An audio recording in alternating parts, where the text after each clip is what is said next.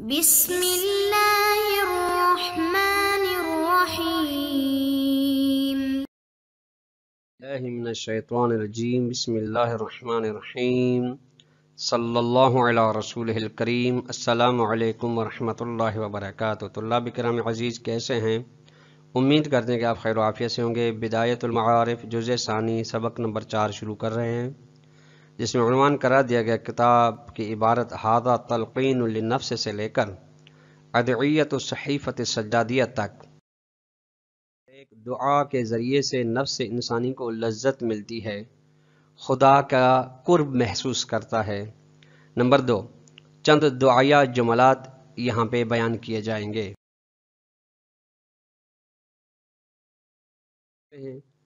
हाजा तलकीन नफ्स से बेज़रूरत अल्तजाज बेक़ुरब ताला व मुशाहदत करामत ही व कुदरत ही ये जो थी दुआ, ये एक किस्म की दुआ खलवत में, ये तलकीन तलकीन है नफ्स को, यानी नफ्स का इदराक है, नफ्स को समझाना है कि ज़रूरी है लज्जत लेना खुदा के कुर्ब से, खुदा के करामत को देखने से और खुदा की कुदरत को देखने के ज़रिए से।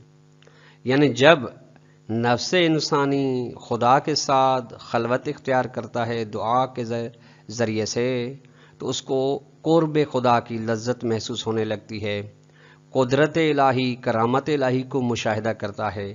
हब्बन लहू, चूँकि वो मोहब्बत रखता है लहू खुदा के साथ। व शौक़न, और नफ्स इंसानी को शौक़ पैदा होगा इला माइंदहू, उस चीज़ की जानब जो खुदावंद मुताल के हाँ है।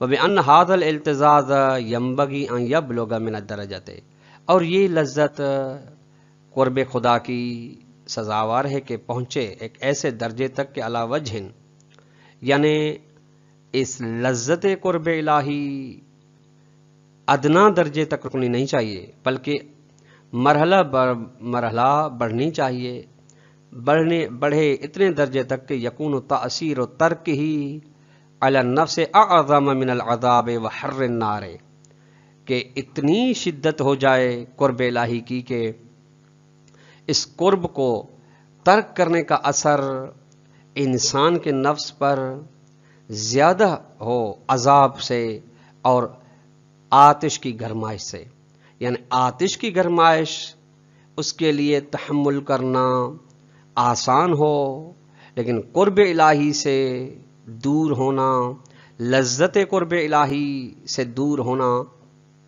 कई गुना उस आतिश की आतिश की तपिश से अजीम हो। फलो फोरेजा, अगर फ़र्ज़ किया जाए कि अंदर इंसान तमक्न मिन यसबिर अला हर नारे, कि इंसान कुदरत रख सकता है कि वो आग की गरमाइश पर, जहन्नम की गरमाइश पर सब्र कर सके तो फ़ैन लाया तमक्न मिन सब्र मिन सब्र अला आदत तर्क। तो इसके लिए असल ये कुदरत ही नहीं होगी कि इस तर्क कुर्ब इलाही पर सब्र कर। ये तो कराम अज़ीज़, आप जैसा कि जानते हैं गुजर दर से जो अली सलाम की दुआए कुमेल से जुमलात नकल हुए थे कि मैं आपकी जुदाई पर, फिराक पर तहमुल कैसे कर सकता हूँ, जबकि हर्र नार पे सब्र कर सकता हूँ। ये इनकी तशरी है। तो कमा तफहमना तफहमना हादहिल फ़करात। जिस तरह हमने ये समझा, इन फ़करात दुआए, जुमलात दुआए को मिलको कि अन हादल हुब्बा वल इल्तजाद बिलकुर्ब मिनल महबूब मबूद खैर व शफ़ी मुदन है हो कि ये फ़करा फ़करा समझाते कि मोहब्बत, ये मोहब्बत लाही लज्जत जो कुर्ब लाही से हो रही है, लज्जत हो रही है, उस महबूब के करीब होने से जो महबूब मबूद है, ये मोहब्बत व इल्तजाज एक बेहतरीन शफ़ी हैं, गुनाहगार के लिए खुदा के नज़ीक ताकि खुदा तला उन्हें माफ़ करे और उनके गुनाहों को मिटा दे। वला यकफा लुत्फो काबिल तोबे जंगे जम्बे और बात वाज सी है, मकफी नहीं है कि इस किस्म का लुत्फ एक किस्म का ताजुब है और तमल्लुक है उस खुदावंद करीम की जानब जो हलीम है, तोबा को कबूल करने वाला है और गुनाहों को बख्शने वाला है। अब फरमाते हैं कि, वला बासफ़ी अनख्तम बहसना हादा कोई हर्ज नहीं है कि हम इस बहस के अख्ताम में बेराद दुआन मुख्तसरिन जामिन मकारम अखलाक कि हम इख्तार के साथ दुआ मकारम अखलाक के कुछ जुमलात को नकल करें यहाँ पे वलम्मा यम्बगी लकुल्ल उज़्म और उन जुमलों को जो सजावार हैं, हर इंसान के, हर उज़वे के लिए। व कुल्ल सिनफिन मिन हो इंसान में से हर सिनफ के लिए मुफीद हैं। अं यकून सिफ़ात महमूद के इंसान हो, उन उन सिफ़ात के ऊपर या सिफ़ात के साथ मुतसिफ हो, जो खुदाबंद मुताल के यहाँ आइमाम के यहाँ काबिल सतश है। अब दुआ ये है। अल्लाह मरदकना तोफ़ी का तवात व बदल माशियत व सिद्क नीयत व इरफान हरमत। ए मेरे अल्लाह, मुझे नसीब कर, मुझे अता कर इतात तेरी इतात की तोफ़ीक। गुनाह से दूरी साफ़ और सादिक, सच्ची नीयत अता कर और हरमत की मारफत अता कर।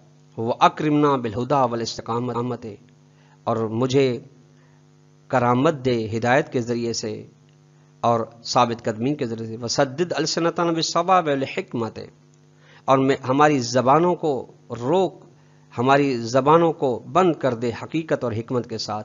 यानी हकीकत और हमत ही बोले। वमला कलूबन वल मारिफत। और हम को और कर दे इल्म मारिफत के साथ। वह तहर बतूनना मिनल हराम। व शुभत और हमारे शिरकुमों को हराम व इश्तबा से पाक कर दे। वक्फ ईदिन जुल्म व सिरकत हमारे हाथों को जुल्म व चोरी से बंद कर दे, रोक दे। वगजुज अबसार अनिल फजूर ख़ियानत हमारी आँखों को गुनाह से और ख़ियानतकारी से बंद कर दे। वस्तुद असमाना अनिल लग लगबत ए मेरे करीम अल्लाह, हमारे कानों को कानों को बंद कर दे। बेहुदा बातों के सुनने से और किसी आदमी की गेबत सुनने से। व तफज़ल अलामाना बेजुहद व नसीहत। ए करीम अल्लाह, हमारे को नसीब फरमा, जहद व नसीहत।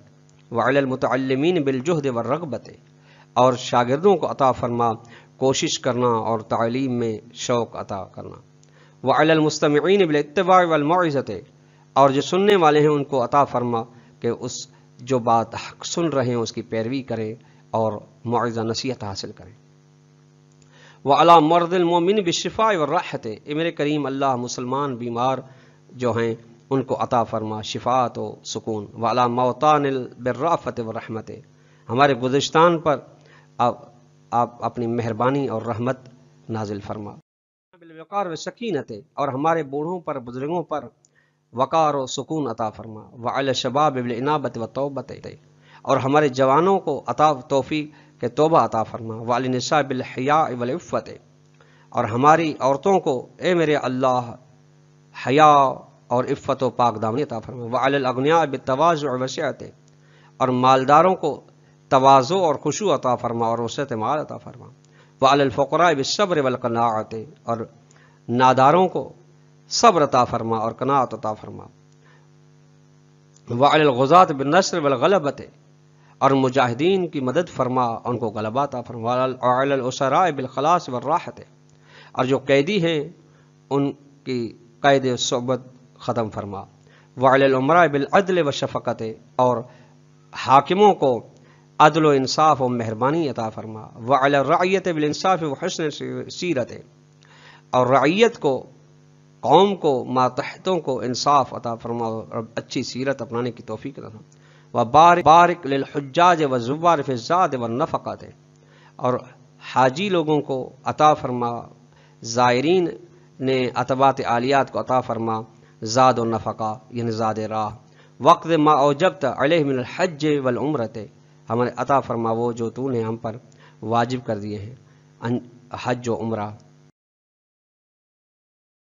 बेफजल का आपके फजल से व रहमत आपकी रहमत से या रहम रहमी ये थे जो दुआ के जुमलात। व इन्नी, अब फरमाते हैं कि मैं लमूसिन, मैं वसीयत करता हूँ इखवान कुर्रा पढ़ने वाले भाइयों को कि अल्लाह तफूत इस्तफ़ादत मिन तिलावत अदयत के वो वक्त ज़ाया न करें अपना इन दुआओं की तिलावत से फ़ायदा उठाने से।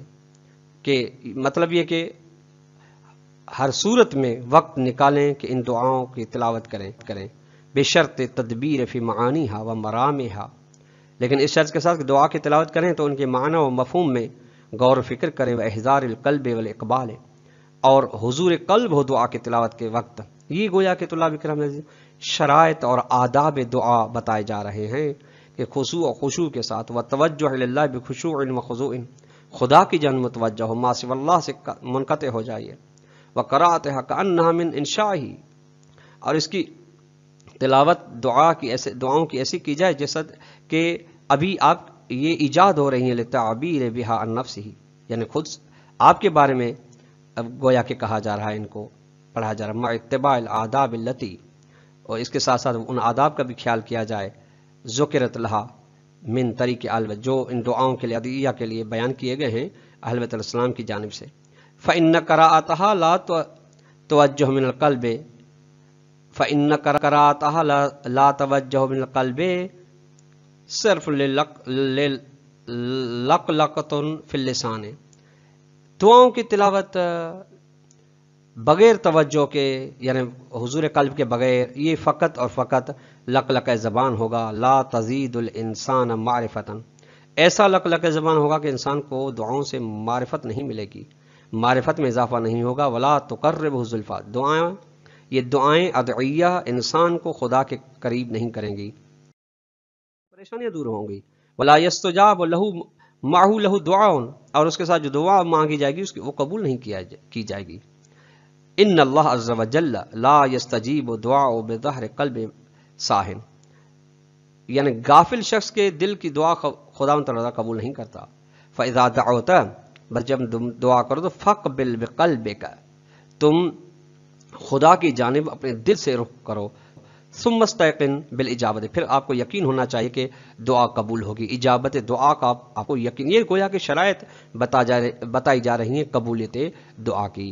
तो अल्लाह कराम आज का दर्स अख्ताम को पहुँचा और ख़ुलासे के तौर पर हम सवाल देना चाहें तो सवाल ये होगा कि दुआ के ज़रिए से इंसान को कौन सा फ़ायदा पहुँचता है और दुआ की लज्जत तर्क करने से कौन सा नुकसान इंसान को होता है। नंबर दो दुआ मकर अखलाक के कुछ जमलात को तहरीर फरमाएँ। वालकम वरहमल वर्का